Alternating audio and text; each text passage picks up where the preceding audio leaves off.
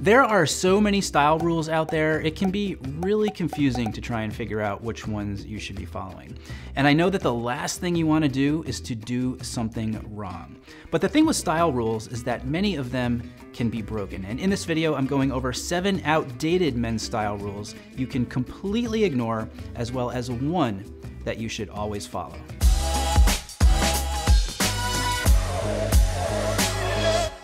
I'm Brian Sacawa, and you're watching He Spoke Style, where we give you the information and inspiration you need to dress well, have more confidence, and unlock your potential. The first outdated men's style rule you do not have to follow is honestly so outdated, you may not even ever have heard of it. It's one that personally makes no sense to me, and that is no brown in town. So back in the day, when men went to work in the city, they either wore blue, gray, or black. Brown was the color that you wore when you were at home or out in the country.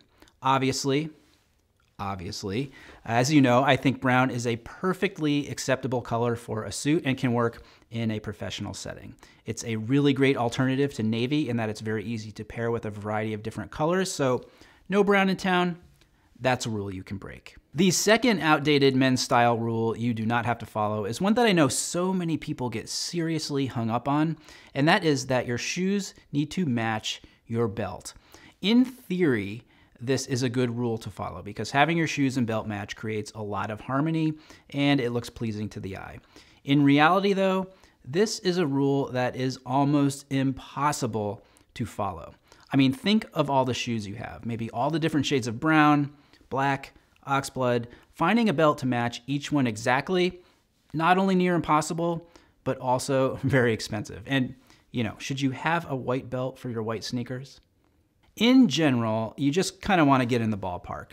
My recommendation is to have a black belt for your black shoes and a medium brown belt for everything else. If you'd like to throw in something like a fabric D-ring belt for casual looks, that's another good option as well. But always matching your belt to your shoes that's a rule you can break. The third outdated men's style rule you do not have to follow is one that I get questions about all the time in the comments here, and that is the rule that says you don't mix navy and black. Now, I don't know where this rule came from, but it happens to be out there.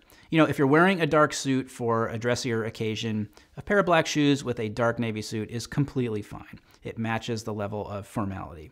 And, you know, what if you're wearing a midnight blue tux? Are you not supposed to wear black shoes with that? You are, and it's what looks right.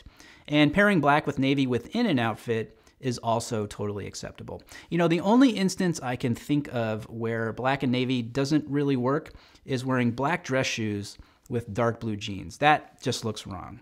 So not mixing navy and black, that's a rule you can break. The fourth outdated men's style rule you do not have to follow is similar to the last one in that it deals with pairing two colors together, and that is don't mix brown and black. Again, I'm not sure where that came from, but it's another rule that I personally do not endorse.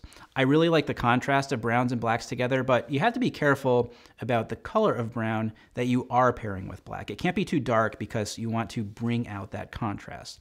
So let's take a pair of black jeans, for example. Put on a pair of chestnut Chelsea boots, that looks good. Throw on a tan sweater, that looks good too. Finish it off with a light brown trucker jacket, also looks good. So don't mix brown and black, that's a rule you can break. The fifth outdated men's style rule you do not have to follow is another one of those that can kind of tie you in knots, and that is don't mix metals.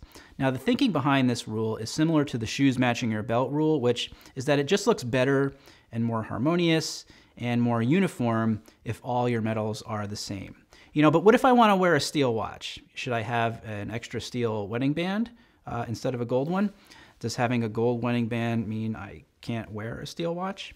And what about two-tone watches? I mean, I understand that like cilantro or licorice, this is generally something people love or hate, but there's really nothing wrong with it. The only time I really ever think about adhering to this rule is when I'm wearing black tie, but day to day, it doesn't really matter. So don't mix your metals.